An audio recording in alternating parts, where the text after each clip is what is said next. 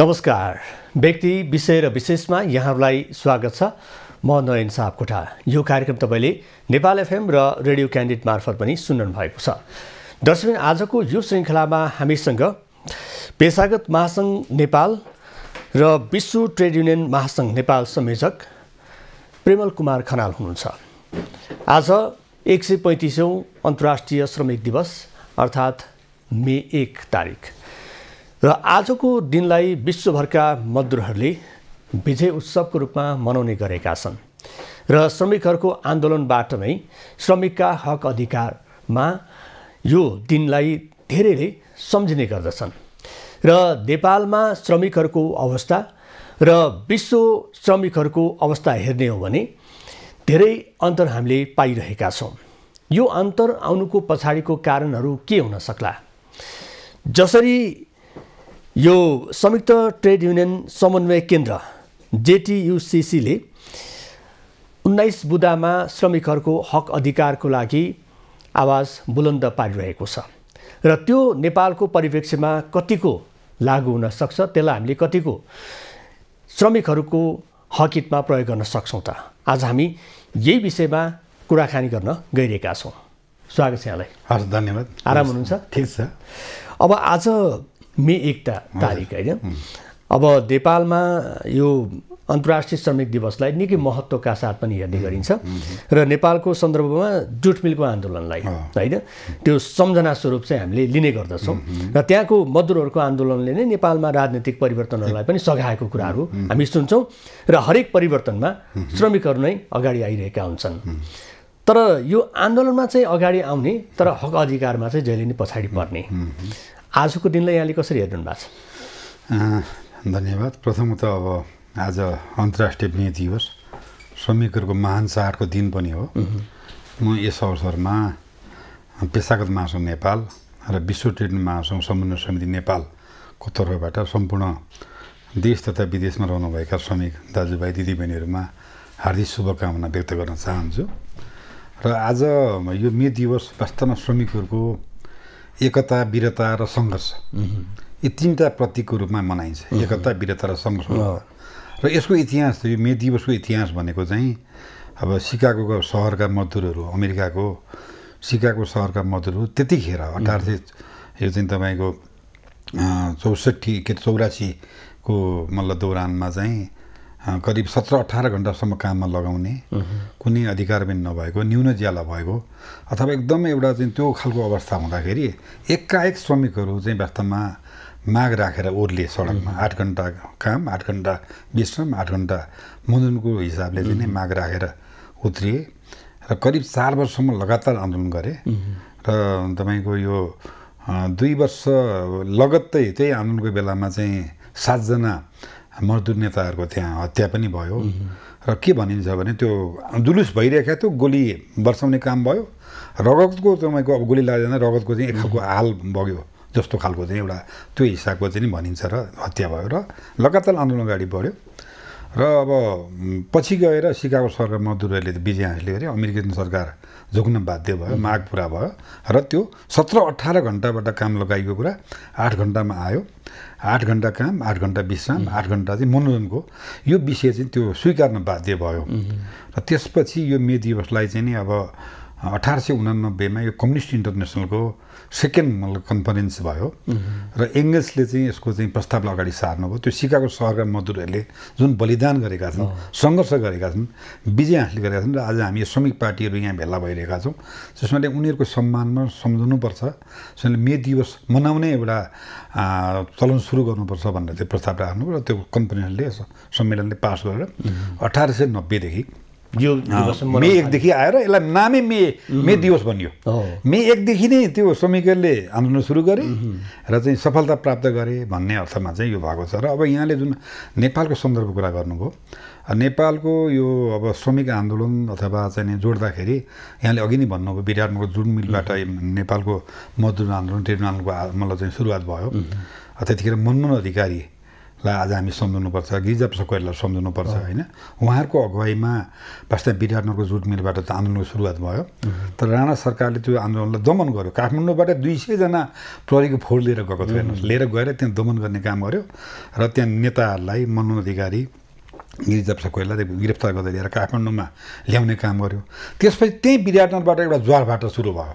दमन त भयो नेतालाई पक्राउ गर्यो तर त्यहीँबाटै अब पर्चाहरू छर्ने सारा कुराहरू काठमाडौँसम्म त्यो आन्दोलन आयो। र आएर सारा यहाँ चाहिँ तपाईँको चाहिँ मतलब बन्दहरू भयो। इभन व्यापारीहरूले पनि त्यो मजदुर आन्दोलनलाई चाहिँ सफल गमन गरे। एकातिर राणा विरोधी आन्दोलन पनि अगाडि बढिरहेको थियो। अनि यो विराटनगरको राप र तापले तपाईँको देशव्यापी रूपमा चाहिँ एउटा सन्देश गयो कि त्यहाँ दमन भएको छ भन्ने खालको कुरा भएपछि र अन्तत तपाईँको चाहिँ अब सात सालमा परिवर्तन भयो भनेपछि यहाँले जुन अघि जोड्नु भएको थियो यो मधुर आन्दोलनले चाहिँ वास्तवमा मुलुकको राजनीतिक परिवर्तनमा आन्दोलनमा महत्त्वपूर्ण भूमिका निर्वाह गर्यो। छ्यालिस सालको कुरा गर्नुहुन्छ कि बैसठी त्रिसठीको कुरा गर्नुहुन्छ कि। अब दलहरूका नेताहरू हेर्नुहोस् यो राजाको शासनको बेलामा आन्दोलनमा हामीले गऱ्यौँ होइन। तर कस्तो झ्यापझ्यापै आन्दोलन भइरहेको थियो। रत्न पार्कै कुरा गर्नुहुन्छ भने दलका नेताहरू आन्दोलनमा आउनुहुन्थ्यो अनि त्यहाँ धर्ना बस्नुहुन्थ्यो। एकछिनपछि पुलिसले चाहिँ समातेर लैजाने झ्यापझ्यापै भइरहेको थियो। तर दलैले नै एकातिर बाह्र बजे सम्झौता गरे र हामी श्रमिकहरूले पनि ट्रेनहरूले पनि अब होटल रेडिसनमा मलाई लाग्छ यो एकसट्ठीको चैतमा चाहिँ हामीले एउटा संयुक्त भएको राजनीतिक पार्टी र ट्रेड बिचको चाहिँ एउटा अन्तक्रिया भएको थियो र त्यहाँ उहाँले कमिटमेन्ट गर्नुभयो। तपाईँहरू लोकतान्त्रिक आन्दोलनमा लाग्नुहोस् र ट्रेड अधिकारको ग्यारेन्टी हुन्छ राजनीतिक अधिकारको ग्यारेन्टी हुन्छ भनेपछि हामीले देशव्यापी रूपमा हाम्रो पेसागत महासङ्घ लगायत अरू ट्रेड महासङ्घको संयुक्त आह्वानमा हामीले देशभरका श्रमिकहरूलाई परिचालन गर्ने आह्वान गऱ्यौँ र श्रमिकहरू पेसाकर्मीहरू कर्मचारीहरू सबै सडकमा उत्रिए। सिंहदरबार बन्द भयो। ठप्प भयो नि त त्यहाँ त। सबै एकजुट भयो। त्यसरी यसरी त्यसमा गणतन्त्र आयो। गणतन्त्र आएर आज यहाँसम्म आएका छौँ यहाँले भन्नुभयो परिवर्तनमा श्रमिकहरूको भूमिका रहिरह्यो। तर जब परिवर्तन भएर तपाईँको अगाडि बढ्दा श्रमिकको हालत त उही छ फेरि र अधिकार कटौती गर्दै जाने होइन? अब हिजो प्राप्त भएको अधिकारहरूलाई पनि युवा त्यो नाममा अहिले के भन्छ कटेल गर्ने कटौती गर्ने यसलाई अब यति मात्रै भनौँ खोलो तर लौरो बिर्स्यो आन्दोलन गर्दाखेरि सहयात्री बने श्रमिकहरू। तर अब जब आन्दोलन सफल भयो त्यसपछि उनीहरूलाई चाहिँ व्यवस्था गर्ने खालको छ। यद्यपि अधिकारहरू त आएको छ नआएको होइन संविधानमा केही व्यवस्था राख्न हामी सफल भएका छौँ। श्रम सम्बन्धी मौलिक हकको व्यवस्था गरेका छौँ होइन? प्रत्येक श्रमिकलाई आफूलाई मन परेको ट्रेडमा सहभागी हुन पाउने अधिकार आफ्ना ग्रिभान्सहरू पिरमार्काहरू चाहिँ मागको रूपमा पेस गर्न पाउने र माग पुरा भयो भने हडताल गर्नुसम्म पाउने कुरा संविधानले त्यो अधिकारहरू प्रस्ताव गरेको छ र कानुन आएको छ। तर त्यसलाई इम्प्लिमेन्टमा जाने क्रममा अहिले चुनौती आइरहेको छ र अब यहाँले जुन श्रमिकको अवस्थाको कुरा गर्नुभएको छ फेरि पनि हामी चर्चा गर्छौँ। काली लाग्दो अवस्था छ। अहिले चाहिँ मैले यही सोध्न चाहेको श्रमिकको जुन मोर्चाले परिवर्तनलाई चाहिँ एउटा स्तम्भाको रूपमा अगाडि ल्यायो त्यो जो जाहेर नै छ। अहिलेको अवस्थामा चाहिँ नेपालमा चाहिँ श्रमिकहरूको अवस्था उनीहरूलाई के चाहिरहेका छन्? राज्य पक्षबाट अथवा व्यवसाय क्षेत्रबाट उनीहरूले खोजेको के हो? के नपाइरहेका छन्? अब श्रमिकको कुरा गर्दा चाहिँ मैले अघि एउटा शब्द काहिल लाग्दो भने अब यहीँ पनि दुई तिन खालका श्रमिकहरू छन् कि अब के अरे माथि तपाईँको श्रमिक कसलाई भन्ने भन्ने सबैलाई भन्ने श्रमिक जसले सङ्घर्ष उसलाई भन्ने। तर यहाँभित्र नै क्याटेगोरी छ क्या? जस्तो अब ब्याङ्कतिर जानुभयो संस्थानतिर जानु भने उच्च तहका मतलब सिओहरूलाई तपाईँको चाहिँ वर्षको चाहिँ नि अब दुई तिन करोडदेखि लिएर पाँच सात करोडसम्म तलब सुविधा दिने। तर त्यो तल तपाईँको भुइँबरको मान्छेले तपाईँको सत्र हजार पनि तलब भत्ता पाइरहेको छैन। भने ती विभेद छ होइन? र तलको वर्गको मान्छेहरूको चाहिँ भुइँवर्गको चाहिँ श्रमिकहरूको चाहिँ अवस्था अहिले कहाँले आउँदछ न्यूनतम तलब पनि पाएको छैन होइन? अनि त्यसपछि चाहिँ नि जीवन निर्वाह गर्न नि पुग्दैन अनि जीवन निर्वाह गर्नको लागि अहिले बजारको तपाईँको चाहिँ बजार भाउको कुरा गर्नुहुन्छ भने पचास साठी हजार नभइकन तपाईँको जीवन परिचय परि मतलब चाहिँ धान्न सकिँदैन। तलब कति छ भने सोह्र सत्र हजार तपाईँ कसरी बाँचिरहेको हेर्नु नर्सिङ होमतिर जानुहोस्। यही मिडियातिर तपाईँ जानुहोस् होइन? मिडियातिर के छ हालत हेर्नु मिडिया त चलिरहेको छ। तर त्यहाँ काम गर्ने कर्मचारीहरूको साथीहरूको अवस्था त मैले धेरै सुनिरहेको छु होइन? अब हाम्रो सञ्चालकले मिडिया सञ्चालन गरिदिनु भएको छ तर त्यो न्यूनतम मापदण्ड यी मिडियामै लागु भएको छैन नर्सिङ होममा लागु भएको छैन अस्पतालमा लागु भएको छैन विद्यालय कलेजहरू खोलिरहेका छन्। त्यहाँ तपाईँको चाहिँ के छ भने चाहिँ एउटा न्यूनतम मापदण्ड लागु नहुँदाखेरि आज श्रम शोषण व्यापक रूपमा चर्किएको मतलब चर्किएर गएको छ। यही सङ्गठित क्षेत्रभित्र पनि। तर अहिलेको अवस्था हुन्छ भने नेपालमा अहिले करिब डेढ करोड जति श्रमिकहरू छन् भन्छन् श्रम गर्ने मान्छेहरू। तर अहिले हिसाब किताब गर्दाखेरि यो ट्रेनहरूको चाहिँ सदस्यता कुरा गर्नु अठार बिस लाखभन्दा बढी मान्छेहरू।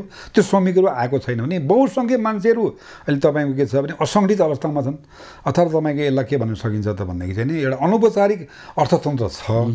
अब त्यहाँ काम गरिरहेका श्रमिकहरूका बारेमा न संविधान चिन्छन् उनीहरूले न श्रम कानुन चिन्छन् न न ट्रेड कानुन चिन्छन्। त्यहाँ जे जस्तो दिइन्छ त्यही मतलब चाहिँ पाएर ज्याला पाएर काम गर्नुपर्ने हुन्छ र त्यो ज्याला चाहिँ के छ भने न्यून छ उनीहरू सङ्गठित हुन पाएका छैनन्। त्यस अर्थमा एक्सप्लाइटेसन अफ लेबर भनिन्छ। अब एउटा चाहिँ एउटा चाहिँ एउटा यहाँलाई मैले सोध्न चाहेको जस्तो यहाँ श्रमिकहरूले जुन पारिश्रमिक नपाएको कुरा एउटा ठाउँमा छ अर्को चाहिँ समान तलब र समान पारिश्रमिक नपाएको कुरा यहाँले गर्नुभयो। एउटै क्षेत्रमा पनि त्यो अन्तर भएको कुरा तर त्यसमा पनि अब क्षमता र आफ्नो दक्षताको आधारमा त्यसले निर्धारण गर्ला त्यो अलग्गै पाटो भयो। यो श्रम सङ्गठन ले के दिइरहेको छ? सबैजना सङ्गठनमा आबद्ध नभएको पनि हामी पाउँछौँ होइन? कतिपय सन्दर्भमा श्रम सङ्गठनहरू ट्रेड युनियनहरूले चाहिँ यो चाहिने भन्दा बढी चाहिँ दबाब दिने र माग राख्ने। जसको कारणले गर्दाखेरि चाहिँ धन समस्याको सिर्जना भएको हो कि भन्ने यस्तो पनि देखिन्छ होइन यसलाई चाहिँ यहाँले कसरी हेर्नु भएको छ? होइन अब यस्तो छ यो अब यहाँले भने जस्तो अब मतलब श्रमिकहरूको बिचमा के न के यो तर दक्षताका आधारमा त के न के त त्यो समान हुँदैन होइन? केही न केही जान्छ। तर मैले अघि करोडको कुरा गरेँ नि यता न्यूनतम पन्ध्र सोह्र सत्र हजार पैसा अर्कोतिर पाँच सात करोड पैसा पाउने खालको यी मतलब श्रम क्षेत्रमा छ। यो एउटा असमान छ भन्ने कुरा रह्यो। जहाँसम्म श्रम श्रमिक सङ्गठनको भूमिका कुरा गर्नुभयो अब उनीहरूको भूमिका पनि वास्तवमा यतिखेर हामीले प्रभावकारी बनेको पाउँदैन हेर्नुहोस्। म आफै पनि ट्रेडमा लागिरहेको छु हामी छौँ होइन। तर हामीले सोचे जस्तो ढङ्गले के छ भने अथवा त्यो हाम्रो जुन लक्ष्य ध्येय छ श्रमिकको चाहिँ के छ भने डिसेन्ट ओभर डिसेन्ट लाइफ भन्छ हेर्नुहोस् होइन? मर्यादित काम र मर्यादित जीवनको अभियानका लागि लाग्ने श्रम शोषणलाई अन्त्य गर्ने जो हामी लाग्छौँ लाग भनिरहेका छौँ। तर हाम्रो पनि अहिले पनि त्यो भूमिकाहरू कमजोर नै भइरहेको छ। अनि मैले अघि नै भने अब बहुसङ्ख्यक मान्छेहरू अहिले पनि नाइन्टी पर्सेन्ट मान्छेहरू तपाईँको चाहिँ अहिले असङ्गठित अवस्थामा काम गरिरहेका छन्। कुन चरीको नाममा उनीहरूलाई संविधान कस्तो हुन्छ कानुन कस्तो हुन्छ चिनेका छैन अथवा दे आर नट अर्गनाइज। उनीहरूलाई हामी समझेको त्यसले अहिले ट्रेड युनियनको डेन्सिटी भन्छ। ट्रेड युनियनको घनत्व नै कमजोर अवस्थामा छ। न्यून छ। त्यसमाले अब अहिले हामी जति ट्रेड निर्माण गरिरहेका छौँ यी सहरी बेसमा छौँ। अनि त्यसपछि तपाईँको चाहिँ फेरि के छ भने चाहिँ एउटै गणना हुन्छ। दोहोरो तेह्रो चाहिँ मतलब त्यही एउटै मतलब व्यक्ति दुई तिनवटा ट्रेड युनियनमा आबद्ध भइरहेको हुन्छ। तर त्यो बहुसङ्ख्यक हिस्सा हिस्सालाई हामीले सङ्गठित गर्न सकेका छैनौँ। त्यसले गर्दा पनि त्यो श्रम शोषण चर्को भएर गएको छ। र ट्रेनरले पनि आफ्नो खालको कामयाबी भूमिका निर्वाह गर्न सकेका छैनन्। श्रम कानुन बन्दा बन्दा पनि ट्रेनरहरू चुकेका छन्। कसरी चुके भनेदेखि अब रोजादाताले चाहेको बेला श्रमिकलाई हटाउन पाउने भन्ने खालको श्रम कानुनमा व्यवस्था छ। तर त्यसका लागि कम्पेन्सेसन चाहिँ के गर्ने? सामय सुरक्षा दिने भनेर त्यहाँ कानुनमा लेखेको छ। तर अहिले रोजादाताले के गरे त भने सामय सुरक्षा दिनेपट्टि उनीहरू लालै छैन। तर कुनै समस्या पऱ्यो यो कम्पनी कारखाना मतलब समस्या पऱ्यो भनेर बन्द गर्ने वा श्रमिक कटौती गर्ने वा धेरै भने श्रमिक कटौती गर्ने। तर उनीहरू चाहिँ सामय सुरक्षामा नलैजाने जो कुरा छ त्यो त्यो हाम्रो कारणले भन्दा हामीले कलम लेखेर दिएको छौँ। श्रम कानुन बनाइरहँदाखेरि सहमति गर्दा ट्रेड युनियनको सहमति छ। त्यहाँ एउटा चाहिँ हाई एन्ड फायर। एन्ड फायरको व्यवस्था श्रम कानुनमा छ। त्यसले पनि अब यो ट्रेड युनियनकै मतलब चाहिँ एउटा भूमिकाको कारणले गर्दाखेरि त्यो चाहिँ के रोजगारदाताको जितको रूपमा लिने त्यसलाई त्यसले हो त नि हाइन फायर। चाहेको बेला चाहेको बेला राख्ने आवश्यक पर्ने हटाउने। हाइन फायर कुरा अर्को नो वर्क नो पेको कुराहरू पनि त्यहाँ श्रम कानुनमा छ है तपाईँले माग राख्नुभयो चित्त बुझेन भने तपाईँलाई हडताल गर्न पाउने अधिकारहरू श्रम कानुनले दिएको छ।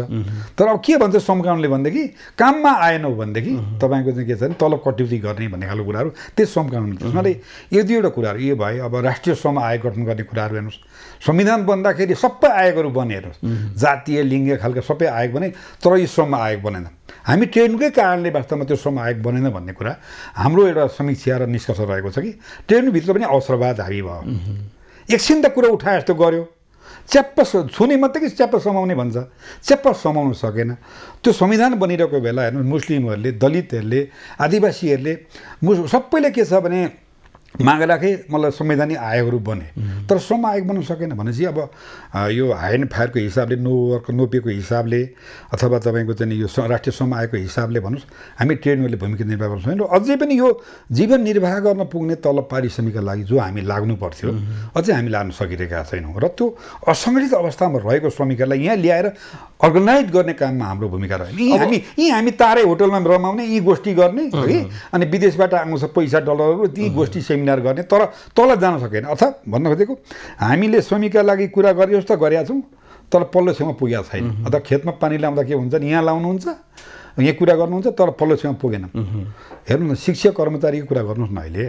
तपाईँको चाहिँ नि बिसौँ वर्ष भयो अस्थायी करार ज्यालादारीमा काम गरिरहेको छ। स्थायी त हुन सकिरहेको छैन। अस्थायी करारमा काम गर्नु परेको छ होइन? यो समस्याहरू छन् होइन? त्यस्तै गरेर तपाईँको चाहिँ अब कानुन बन्न सकिरहेको छैन। त्यसमाले हामी ट्रेनरहरूको सन्दर्भमा भन्दा कुरा त हामीले उ गरिरहेका छौँ। तर आशातीत ढङ्गले अहिले अझै पनि श्रमिक कर्मचारीको हितमा अझै हामीले काम गर्न सकिरहेका छैनौँ भन्ने कुरा चाहिँ लागिरहेका छ। केही त हामीले व्यवस्था गर्नु श्रम कानुन बनायौँ तर बनाउँदा त्यस्तो खालको बनाइरहेका छौँ हामीले। अब यो त्यो लागु भइरहेको चाहिँ। यहाँहरूले हिजो एउटा कार्यक्रममा चाहिँ के माग राख्नुभयो भने श्रम ऐन दफा एक सय पैँतालिस लगायत श्रम सम्बन्धी ऐन नियमहरूमा समय सापेक्ष सुधार र संशोधन गर्नुपर्ने लगायत होइन छन्।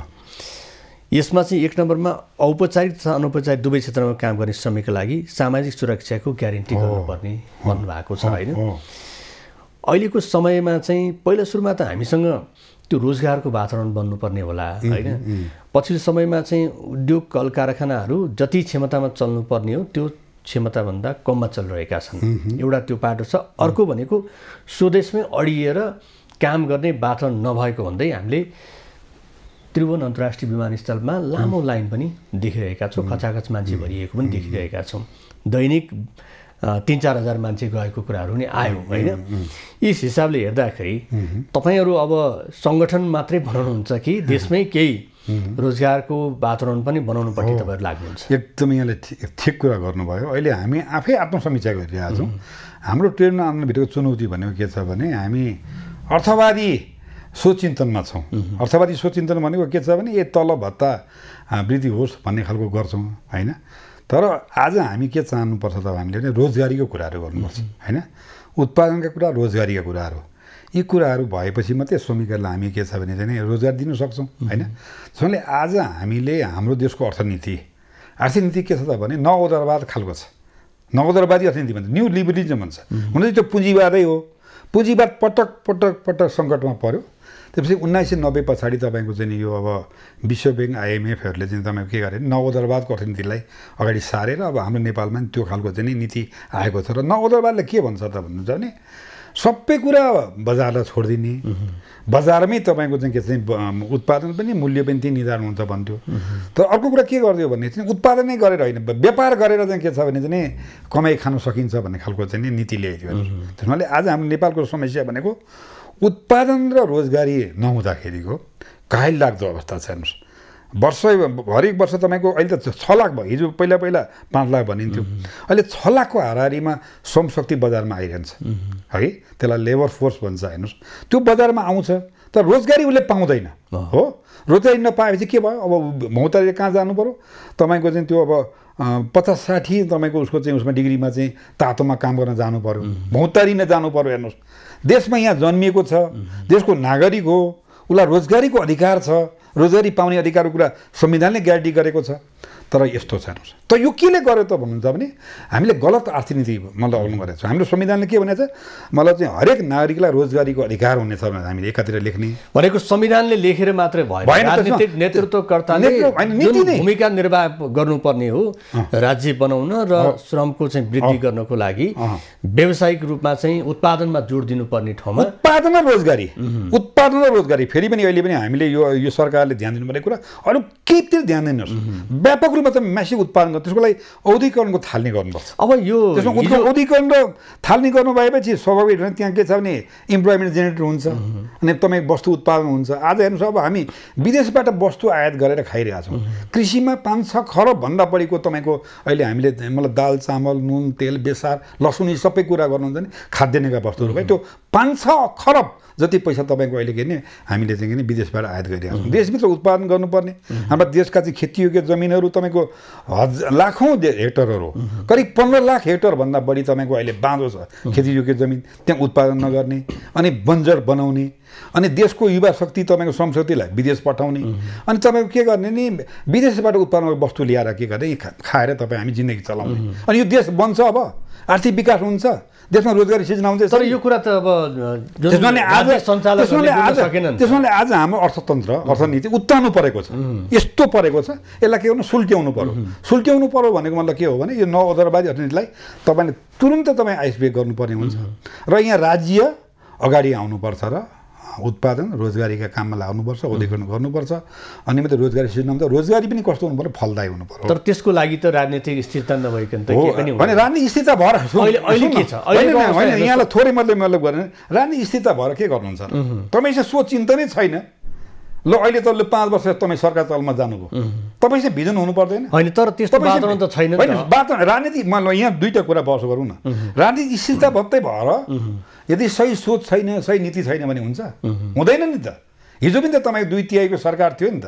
होइन? मतलब भनेपछि होइन अहिले पनि त यो सरकार बनेको नयाँ समीकरणबाट बनेको तिन तिन पटक चाहिँ सरकारले चाहिँ विश्वासको मत लिनुपर्ने वातावरण सिर्जना भयो। नयाँ गठबन्धन बनाएर जानुपर्ने अवस्था ठिक छ। यहाँले भनेको अब। यस्तो अवस्थामा हामी सहमत हौँला। राजनीतिक स्थायित्व पनि एउटा वान अफ द कम्पोनेन्ट हो होइन मुलुकको आर्थिक विकासका लागि।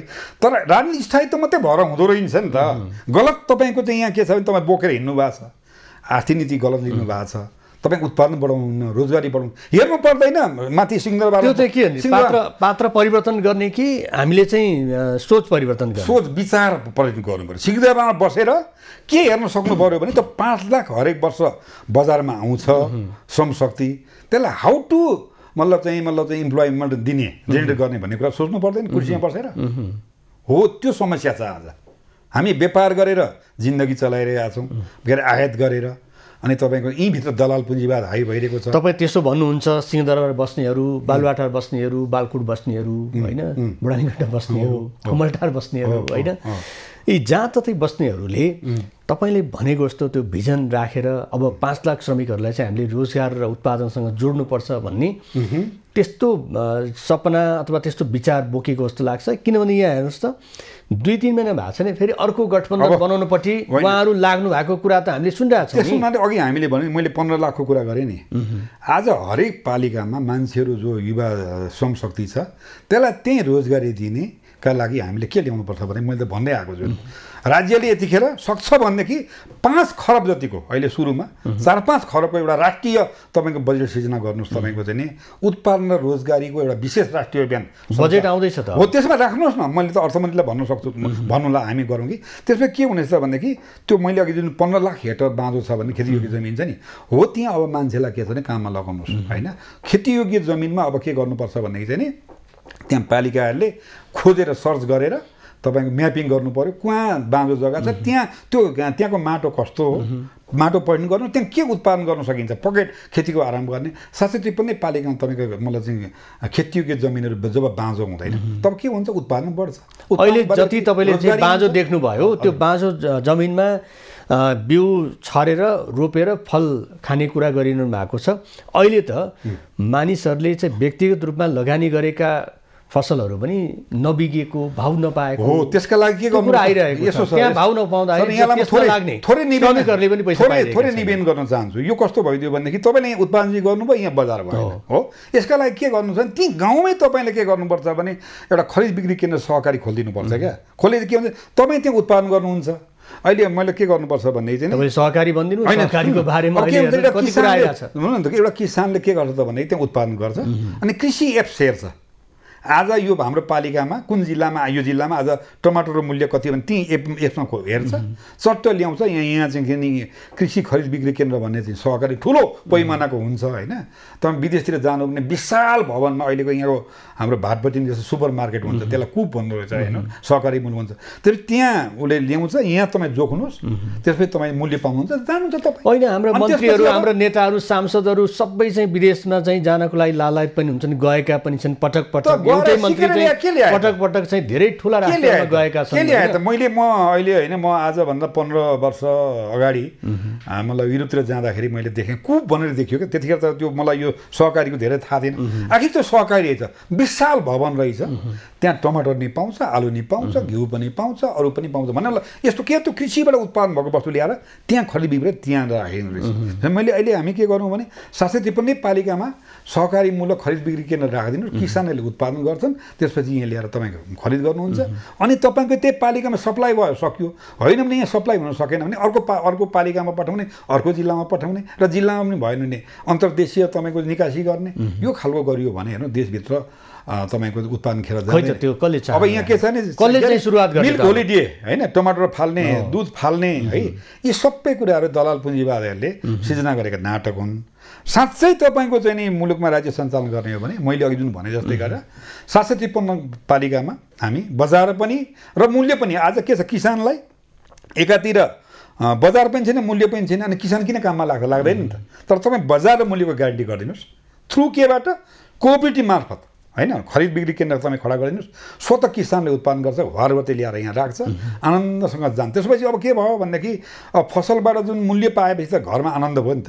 अनि त्यो उसका नौजवान छोराछोरीहरू पनि त्यो के भने पैसा आउँछ पैसा आएपछि उनीहरू पनि बिस्तारै अब यो कमाइमा पो लाग्नुपर्ने रहेछ भनेर तपाईँको चाहिँ लालच हुन्छ विदेश जाने कुराहरू भनेको यो कुरा चाहिँ कसले गर्ने त अब? राज्यले गर्नुपर्छ। राज्य भनेको को हो त? यो राज्य भनेको यो यो चल चलाउनेहरूले गर्नुपर्छ। सिंहदरा चलाउनु त हो त्यसमा तपाईँले पटक पटक त्यसमाले अब यो भिजन मिसन गोलको कुरा हुन्छ फेरि पनि हामी चर्चा गर्छौँ। त्यो योजना आयोग बनिरहँदाखेरि अहिले अब सोह्रौँ योजनाको कुराहरू आएको छ। र मैले अघि भनेर चाहिँ व्यापक पैमानामा तपाईँ उत्पादन रोजगारी वृद्धि गर्ने एउटा राष्ट्रिय सङ्कल्प गरेर राष्ट्रिय तपाईँको अभियान सञ्चालन गरेर त्यहाँ बजेट हाल्ने।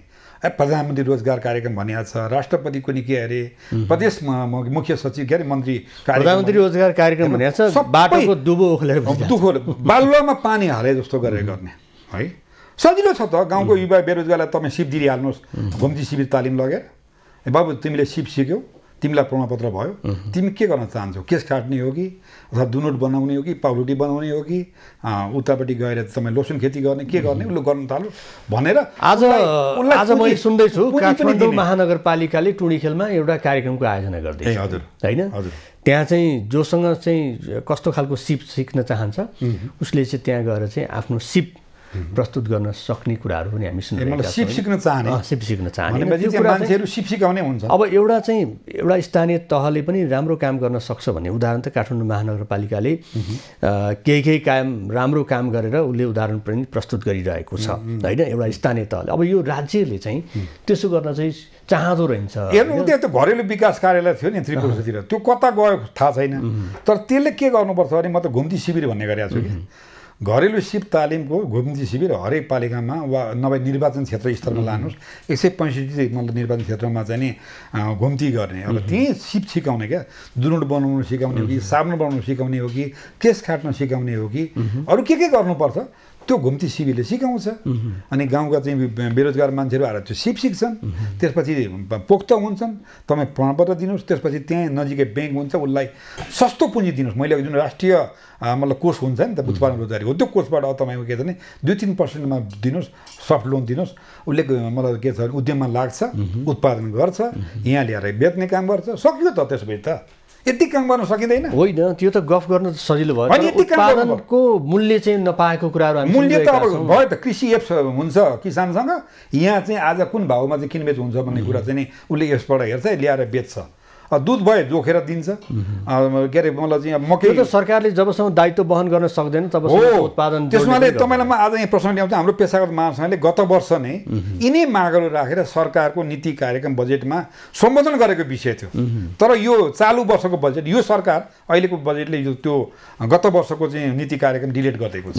र चार पाँचवटा कुरा पेसागत महासङ्घले उठाएको थियो। सात सय त्रिपन्नै पालिकामा मलाई चाहिँ यो सहकारीमूलक खरिद बिक्री केन्द्र कृषि बिक्री गर्ने सिप तालिम दिने रासन कार्ड दिने न्यून आय भएका जनतालाई त्यसपछि त्यहाँ गएर सुपथ मूल्यको पसल पनि हुन्छ भन्ने कुरा बजेटमा उल्लेख गराएको विषय थियो। तर दुर्भाग्य। मलाई त्यो कटौती मलाई डिलेट भएको छ। हामी त्यो कुरा उठाइरहेका छौँ भने चाहिँ यसरी हामीले जुन चर्चा गरिरहेका छौँ यतिखेर कि भयावह अवस्थाको बेरोजगारीलाई अन्त्य गर्नको लागि नेपालभित्र सकिन्छ हेर्नुहोस् त। हजारौँ हजारौँ लाखौँ डाँडा काँडाहरू त छ नि त। यहाँ तपाईँको चन्द्रगिरीको यो हेर्नुहोस् त। चन्द्रगिरीको मोडल लिनुहोस् त। केबल कारको कुराहरू। यस्ता केबल कारहरू हामी हजारबाट भन्दा बढी बनाउन सक्छौँ होइन? अथवा यस्ता डाँडा काँडालाई हामी राज्यले युज गर्न सक्छ प्रयोग गर्न सक्छ। त्यहाँ कति तपाईँको रोजगारी सृजना हुन्छ हेर्नुहोस् त अब। हाम्रो देश नि हाम्रो देश थोरै। यहाँलाई निवेदन गरौँ। हाम्रो देश संसारमा सबैभन्दा अनुभव उदाहरण छ। हिमाल पहाड तराई। माटो यस्तो उर्वर छ। यो तपाईँ कहीँ पनि यो देशमा ल जानु पनि पाउनु। भनेपछि प्रचुर सम्भावना छ देशभित्र उत्पादन बढ्ने रोजगारी पनि र संसारकै धनी देश हुन सक्ने सम्भावनाको बिचमा यो सबैले भन्ने कुरा हो यो तर राज्य पक्षले राज्यमा बस्ने नेतृत्वकर्ताले चाहिँ कहिले बुझ्न सकेनन्। हामीसँग समय सकिएको छ। मे एकको सन्दर्भमा यहाँसँग संवाद गर्ने मौका मिल्यो। यहाँलाई धेरै धेरै धन्यवाद। छ हस् यहाँलाई पनि धन्यवाद। दर्शकबिन उहाँ हुनुहुन्थ्यो पेसागत महासङ्घ नेपालका अध्यक्ष। प्रेमल कुमार खनाल। आज मे एक तारिक अर्थात् अन्तर्राष्ट्रिय श्रमिक दिवस। नेपालमा पनि यस दिवसलाई लिएर विभिन्न कार्यक्रमहरू हुँदैछन्। यसै सन्दर्भमा आज हामीले कुराकानी गऱ्यौँ। आजको समय सकिएको छ। खबरभित्रको खबरको लागि हेर्दै रहनुहोला। हेभी खबर। नमस्कार।